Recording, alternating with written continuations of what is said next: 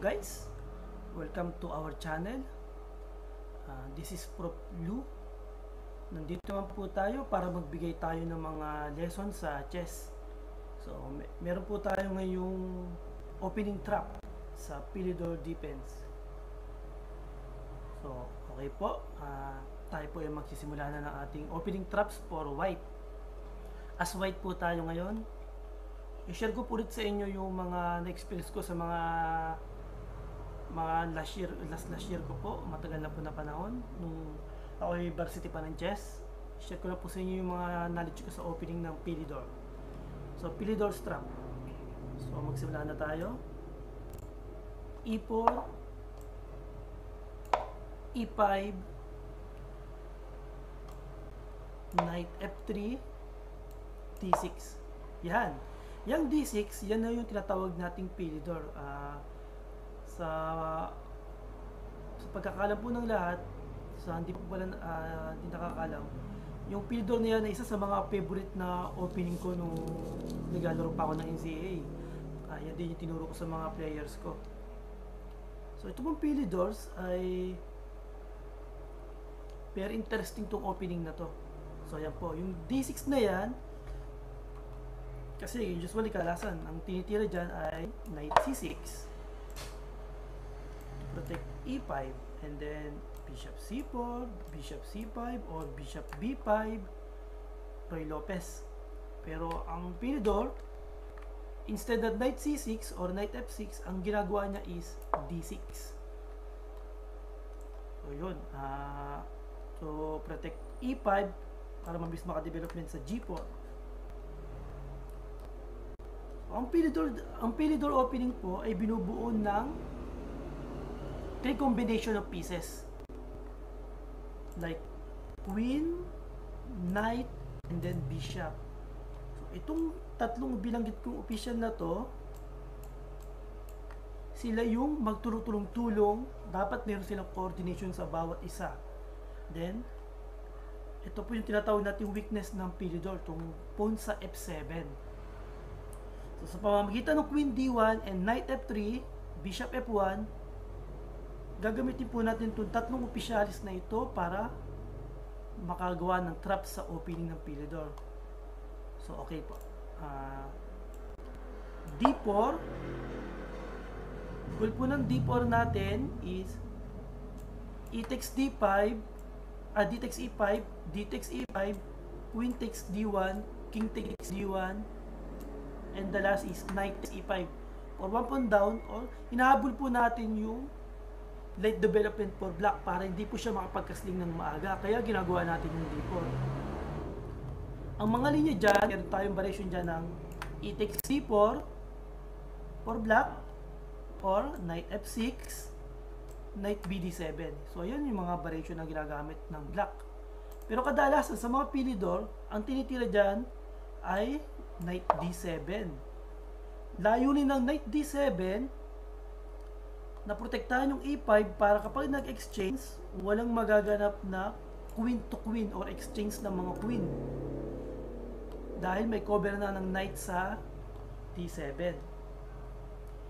So, napaka interesting po ng opening na to kasi nga marami tayong trap na nakahanda rito. So, ayan po. So, gagamitin na po natin yung bishop 4. Ito na po. Uh, formation ng bishop C4, Knight F3, and Queen F, Queen D1 to treat F7. So, yan po yung tinatawag nating ano, weakness point ng black. So, ayan po. So, very sensitive tong tirang ito, kaya kailangan ang black ay tama rin nung nasagot na tira.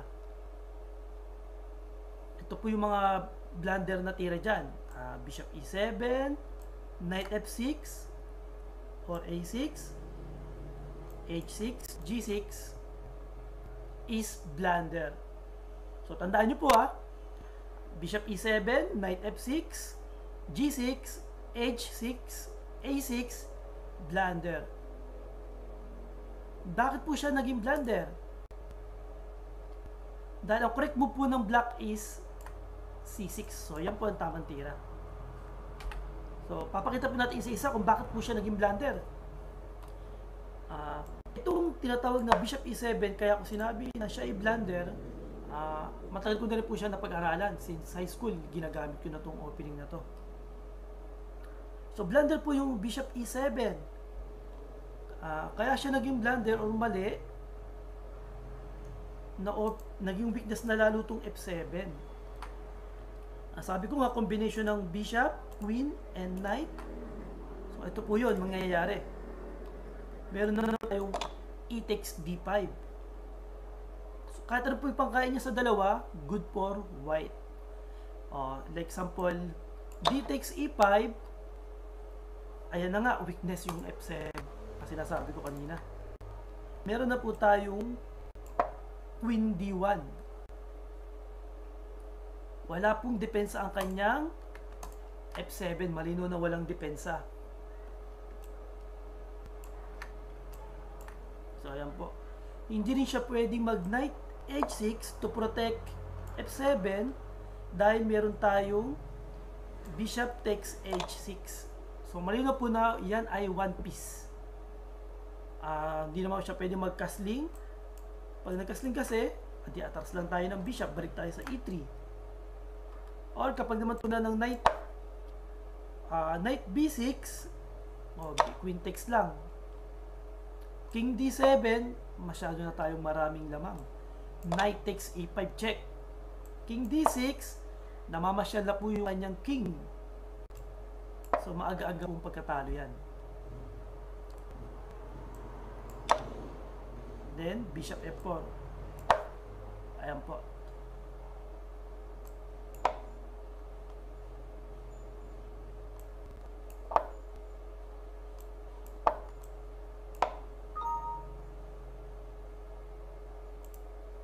So, checkmate po yun.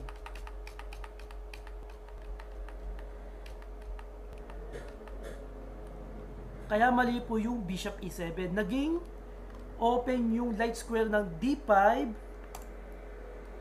and then h5. So, nagkaroon tayo ng square dun for the queen.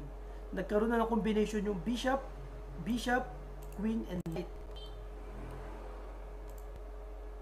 Pag kinaan yung knight takes, ito yung kanina. Ngayon naman, kapag naman ang ginawa niya is knight takes e5, sin pa rin po nang mangyayari yan. Ang, ang key move is knight takes e5, queen, uh, d takes e5, meron na po tayo queen h5, treat yung f7 and then e5. So, weakness po yan. Kahit po siya yung g6 para wala mate or mawala kayo sa f7, queen takes e5, knight f6, Siyempre, ang purpose knight f6 niya, gusto na niya magcasting para maiwas sa danger. Kaya lang, sa chess, sa sabi ko nga kanina, one pawn is enough to win the game. So, kapag po tayo lamang ng pawn, just simplify your exchange better for the endgame. Katulad ng lagi kong sinasabi. So, knight h6, gusto niya maka-escape. So, bishop h6, queen b6, kasi uh, danger nga yung king niya, possible na hindi siya makapagkasling dahil kapag tayo nakapagkasling mamaya, mararamdaman po niya ang full force ng white. Kaya wala po siyang magagawa dyan kung hindi mag-exchange. Kaya lang, pag in-exchange yan, better for the endgame. Hindi rin pwede mag-bishop kasi may bishop g7, treat yung h8, and then knight f6. Kapag naman siya nag-c takes d6, so wala na to. One pawn down na yan. So, sisimplihan na lang natin. Okay po ba? So, balik ulit natin yung position kanina. Kaya yung bishop e7 is blunder. Ah, kapag naman siya tumira ng knight f6, another mistake kasi open pa rin yung kanyang f7, weak point pa rin yung f7 niya. May mga jump tayo ng knight g5 mamaya. Pero take note, bago tayo mag-jump ng knight G5 need to capture 5. Kasi kung tayo magdala ng G5 ng maaga, meron na siyang tira ng D5 to protect. Pero lamang pa rin naman tayo dyan. Kaya lang, mas maganda na yung malinis yung ating pagkakalamang. Di ba? So, bago tayo mag-date G5, i-takes D5 po lagi ang tira natin. And then, Tulad ng kanina, maulit lang yung nangyari. Kapag siya nag DTX E5, so sabi ko point of uh, weak, weak point yung F7. Meron tayong knight G5. Malinis na makakain natin yung pawn sa F7 with check. Kahit bishop B4 check is useless. C3 lang ang tira natin. So ayan po. Uh, another one piece pa rin yan pag atras. Uh, punta like bishop C5 or bishop or etc. Wala pa rin. Ganun pa rin ang mangyayari. Meron tayong knight takes F7. So ganun pa rin. Uh, bishop takes F2. Pwede nating dikainin yan para wala po siyang timing sa knight takes E4. Okay. Iniwas ko lang yan.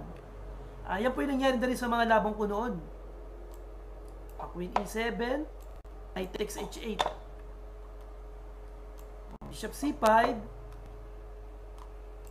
B4, yan, yung laro namin yan, nag-resign na po siya dyan, yung laro namin nung, nung naglalaro pa po ako na provincial meet nung high school.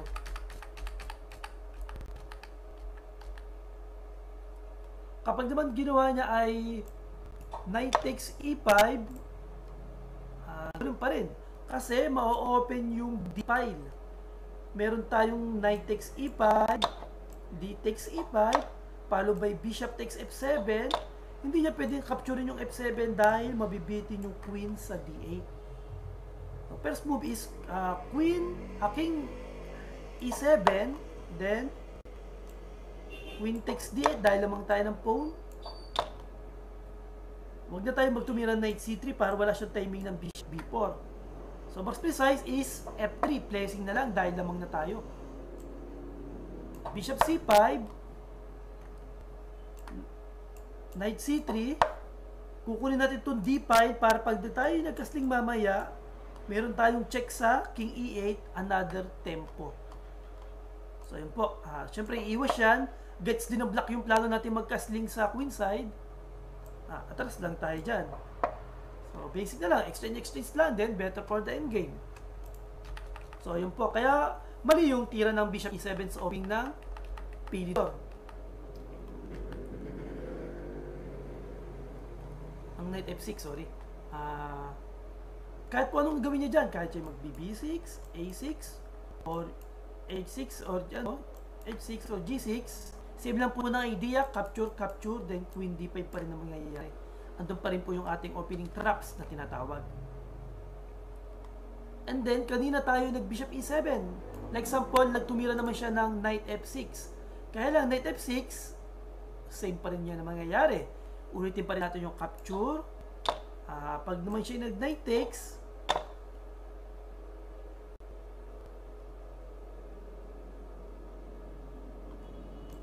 So, same pa rin po siya na mangyayari. Bishop takes F7, King E. Oh, maulit lang yung kanina. Tapos another ganoon na naman, F3 ulit. Kapag naman siya nag-pawn takes, talo pa rin siya, meron pa rin tayong ganyan. Oh, same lang. Ganun lang din mangyayari. Uh, Bishop E7.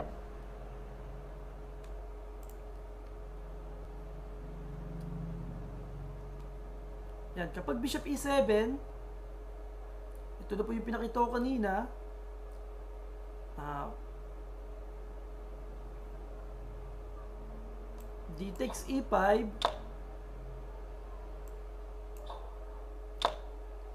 Ayun po, meron na tayong Queen D5, ganun pa rin. Queen D5, tapos Knight H6 para napakita ko na to kanina.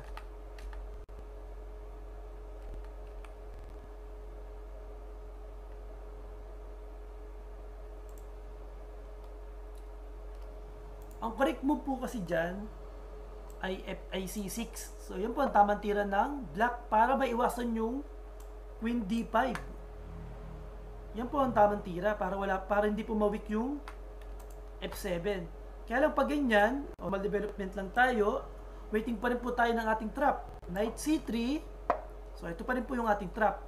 Ah, bawal pa rin po siya mag Knight F6 kasi same na naman mangyayari, capture, capture, balik na naman sa Knight G5. Kaya may pa rin. So, Bishop E7. Ayan naman po. Uh, after mo Bishop E7, ito na po yung combination ng ano ng tatlo pa rin piyesa natin. So weak, weakness pa rin po itong F7. Bishop E7 is not good pa rin for black. Dahil meron tayong uh, e, uh, D takes E5.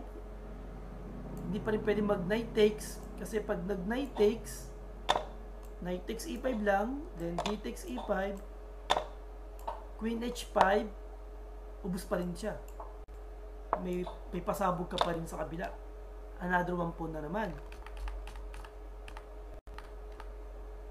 Kaya papilitan siyang mag DTX E5. Kaya lang, after mag DTX E5, meron pa rin po tayo tinatawag na trap. So, bibigyan ko po kayo ng ilang minuto para mag-isip kung ano ang best move ng white.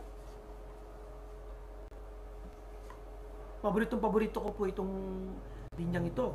Uh, tinuro ko rin siya sa mga player ko at naging paborito rin nila to nang makita nila yung idea ng white kung gaano kabigat.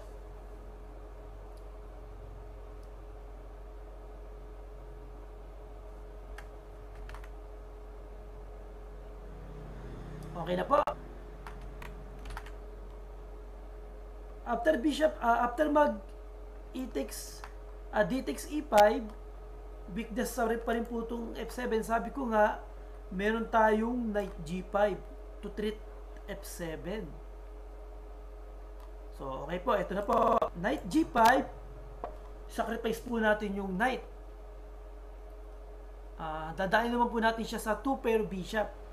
Then, after niyang capturein, meron po tayong queen H5 para mabawi yung sinacrifice nating kabayo. So, weakness pa rin po itong F7. Uh, pag siya nag-G6, queen takes G5 lang ang tira. Uh, ka ang kadalasan pong ginagawa ng kalaban ko dyan, kinakain niya yung queen ko sa G5, then bishop takes. Sige, pakita po natin. Ito, ito kadalasan ginagawa po.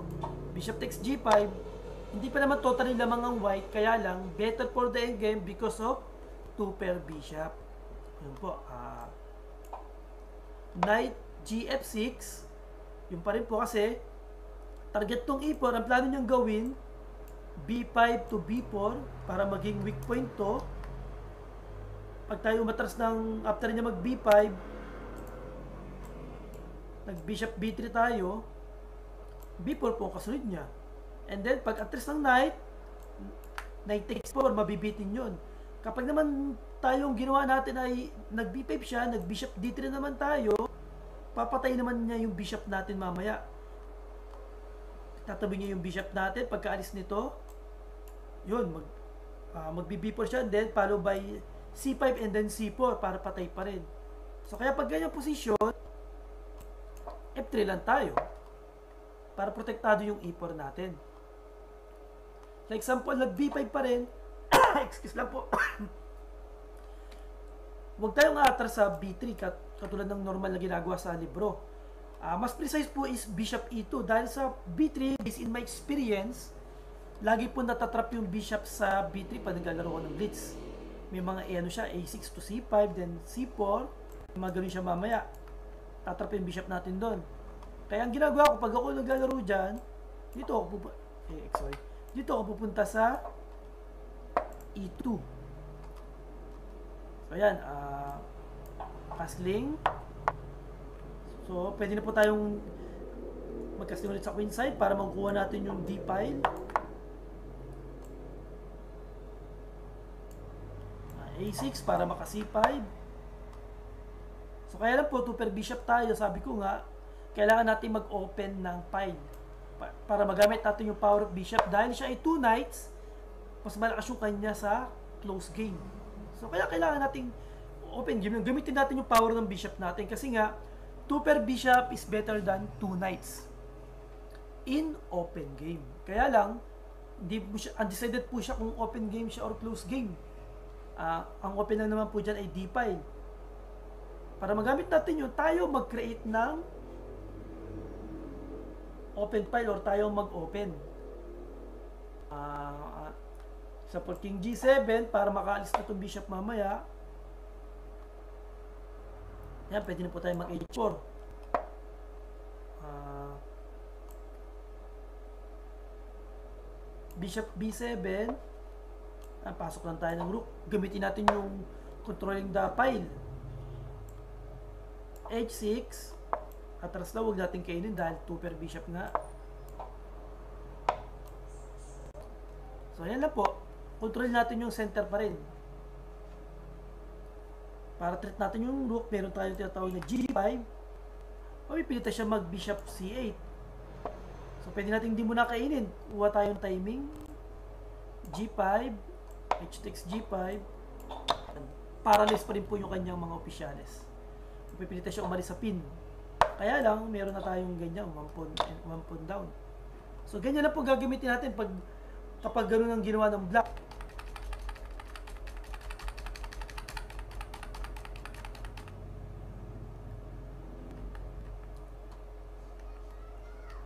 Else, after nating mag, ano, mag queen h5, ang ginawa naman niya ay pinabayaan lang yon Queen e7 ang tinira. Balik tayo dito sa kanina.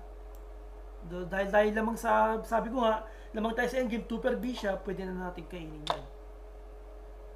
Ayan, hayaan mo siyang kumain. Uh, knight gf ano, knight g f6. So, huwag po natin kakainin itong g7 kasi pag kinain natin yan, meron siyang mga rook g8, queen h6 tayo, then takes g2, magiging maganda po dyan ang black kasi may mga timing siya ng knight b6, atras ka, labas ang bishop, then castling sa queen side. Okay, papakita natin. Kaya maliging kainin to. Uh, pag kinain natin yan, rook g8, queen h6, rook takes g2,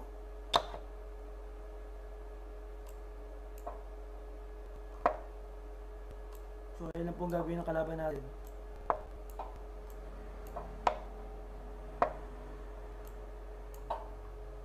Kain na po ito. So, good for plan. Kaya pag ganyan, huwag na kayo matuksong kainin yung phone. Pwede nyo naman simple lang dahil 2 per bishop tayo. So, develop pa rin. Next casting.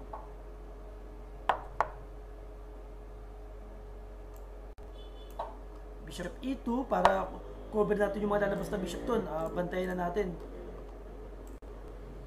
B5 Kasling.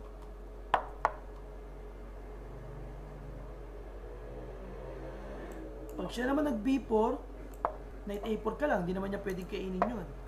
H6, oh, dito ka lang, simple lang. Basta gamit lang ng medyo lagyan natin ng konting tiyaga.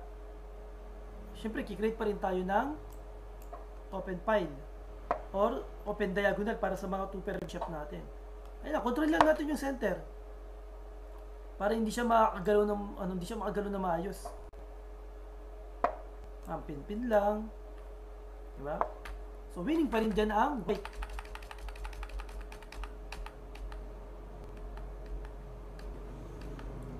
So ito na po, dito naman tayo sa blunder na tinira ng black. Pero to hindi pa to nangyayari sa laban ko. Nag-aaral ako, inaral ko to noon, naging, kaya ko siya tuntua, naghihintay ako na itira to ng kalaban ko.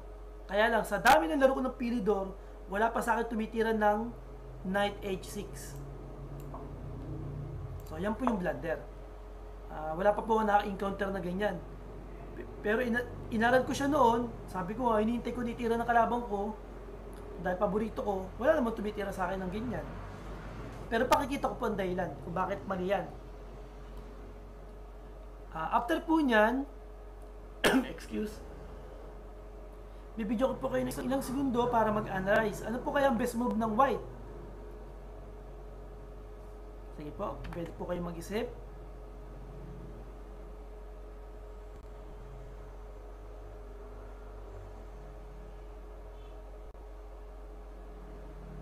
Okay na po.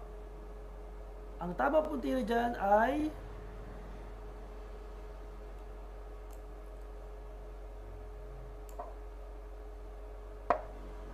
knight e6.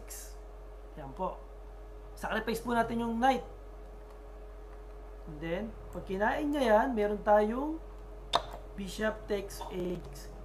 Hindi niya po pwedeng kainin to kasi meron tayong check sa h5. Yan po. Uh, pag kinain niya kasi yan, queen h5 check, king f8, bishop takes e6, threatening bait sa f7,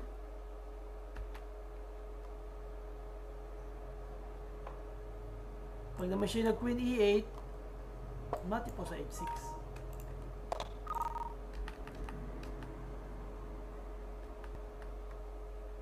Or ang ginawa naman niya is castling or knight b6. Queen h5 pa rin ang tira natin.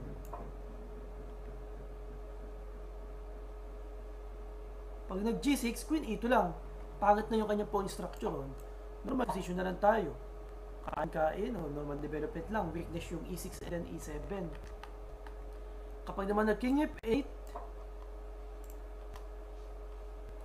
atras lang tayo ng bishop. Huwag na, huwag na tayo pumunta sa e2 para may pressure pa rin sa e6.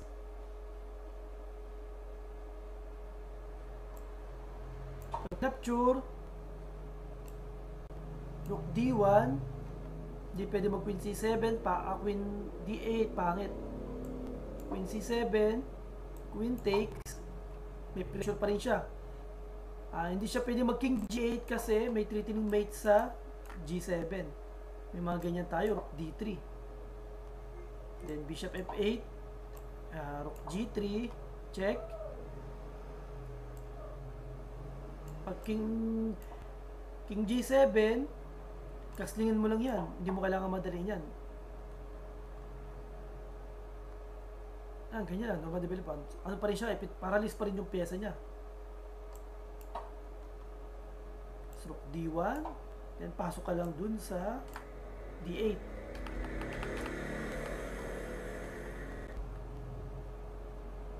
Kapag naman siya nag-king e8,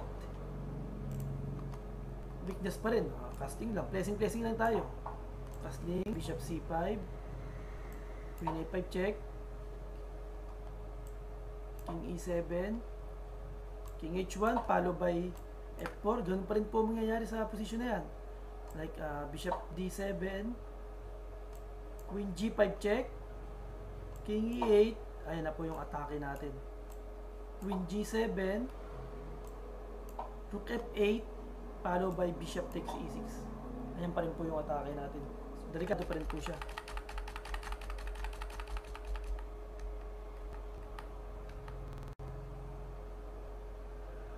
So, yun po yung trap sa opening na yan. Kaya napakaganda po ng pili doors na yan. Kung yung po gagamitin nyo sa laban, very effective po siya. Kung may titira po ng knight h6 sa variation na yan.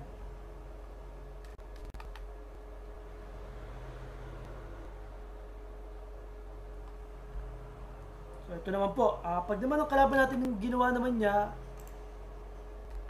hindi naman siya nag bishop e7. Like example, ang ginawa naman niya ay siya kumapture sa sa d4 o kaya b5. Yan. Pag po naman siya nag takes d4, queen takes d4 ka lang. Mas mabilis yung development pa rin natin. Uh, queen f6, queen, queen e3 lang ipitin pa rin natin siya kasi ano tayo, positional play tayo eh. B5, bishop B3, huwag ka na muna umalis dyan para pressure pa rin. A6, gusto niyo C5. Ha, kaslingan lang po natin.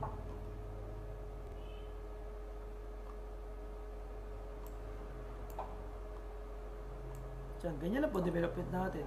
Pero kung mapapansin niyo andyan pa rin yung king ng black sa center. Hindi pa rin po siya nakapag kakasling. Ibig sabihin yan ay danger pa rin.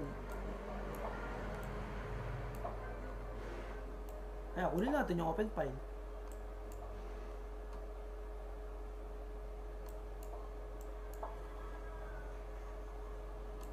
Ay, knight G3. Kasi ganun-ganun lang tayo. Tapos pwede natin basagin yung center. Mga to, ataka king mas open na file lang tayo. So kaya, pangit pa rin po yun. Example naman ang ginawa niya ay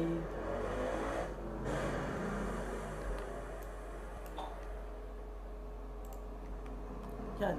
Uh, e takes d4. Ganun pa rin po tayo. Queen takes d4. Winning pa rin po tayo position. Uh, knight f6. Castle. Uh, bishop e7. d1. Kunin pa rin natin itong file. Siyempre, meron siyang weakness sa d6. And then, yun nga, late development pa rin ang black. So, targetin natin itong, ano yan, itong D6 niya, weakness yan. So, lipat naman tayo ng tatargetin sa opening. Pipilitan siya mag knight e8 para madepensahan yun. Kaya kung titignan ninyo, very active ang white. Active ang bishop, lalo good square, rook, uh, para sa black na lahat sila ay nagsisiksikan sa kanyang pile or kanyang square. H3, hindi na, kulat-kulat lang. Tapos A4, oh, para hindi, para hindi niya makain yun. Kapag naman kumain dito, okay pa rin naman. Oh, good square pa rin tayo dyan.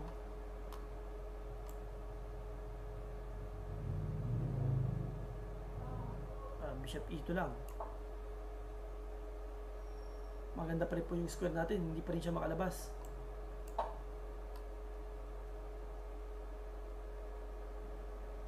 Ah, tempo-tempo lang. Butasin lang natin yun. Tapos, pwede tayo mag A6 mamaya. Kaya gawin na kalaban A6. Then, bishop H2 or G3. Then, F4. Then, paano ba F5? Trap pa rin po yung kanyang mga officials. Ganyan lang po paglalaro ng Pilidor. Gamitin natin, bilang, as, bilang puti or as white, gamitin natin yung isang tempong binigay ng paglalaro ng chess. Isang tempo para manalo. Then, yung tempo nyo, dumami ng dumami yung advantage natin dahil yung ay loss of development. So, yun po. Uh, magandang araw po sa inyo lahat. Sana po may natutunan tayo sa aking pinakitang variation ng Pilidor. Uh, share ko na po yung mga nalalaman ko sa aking opening. Sa next, ano po ulit natin, videos natin. Panibago na namang pag-aaral at topic at position kung paano makagawa ng trap sa opening. So, ito po ang inyong lingkod, si Prof. Louie, na nagsasabing, whatever decision you will make in your move, be sure you can stand for it. So, okay po. So, hanggang dyan na lang po tayo. Maraming salamat po. Uh, please subscribe my channel, Prof. Lou TV, and like and share. Uh, okay po. Salamat po. Thank you.